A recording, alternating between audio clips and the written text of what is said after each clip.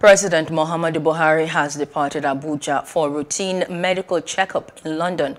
The president had initially planned to embark on the trip from Nairobi, Kenya, after attending the United Nations Environmental Program at 50 in that country. However, the president returned to Abuja on Friday at about 1 p.m.